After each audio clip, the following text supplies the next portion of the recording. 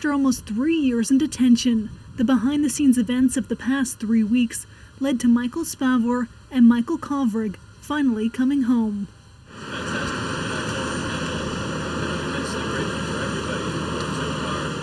Canada's Foreign Affairs Minister was on the tarmac in Calgary with the Prime Minister for that emotional homecoming. You could sense a collective uh, uh, sigh of relief from Canada and, and, and joy at seeing our two Michaels finally back on Canadian soil.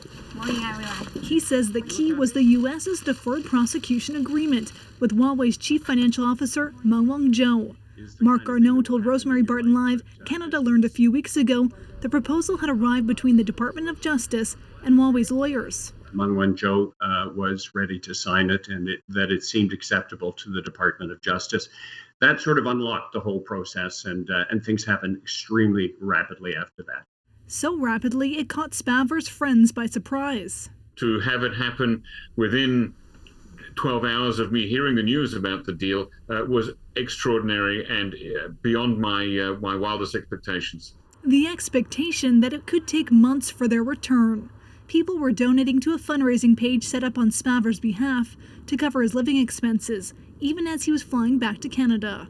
Uh, Michael, uh, we miss you here in Seoul. We love you. Uh, I have a bottle of North Korean snake liquor ready for when you come back to Seoul to, to see us again. Uh, we can't wait for that day.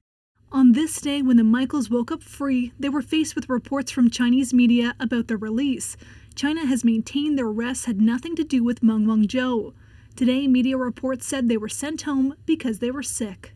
Kovrig's friend, also a foreign correspondent with The Star, says China has given itself away. For them to actually be on a plane two hours after Meng had left Vancouver, um, it just shows it was very blatantly linked. Three Sundays ago, Kovrig's wife and sister were marching through the rain in Ottawa to mark Kovrig and Spavor spending a thousand days in detention. This weekend, they were reunited at last joy, relief, overwhelming gratitude for everyone who has worked to make this day happen.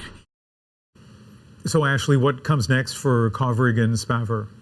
Well, they haven't worked in about three years. Today, Minister Garneau didn't rule out compensation for the two men if needed.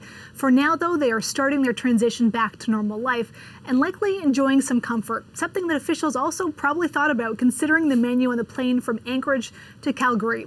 The Department of National Defense confirms the Michaels were served some real comfort food ribs and mac and cheese baked in Alfredo and aged cheddar sauce. Ian? That's a nice detail. Ashley Burke in Ottawa. Thanks. Thank you.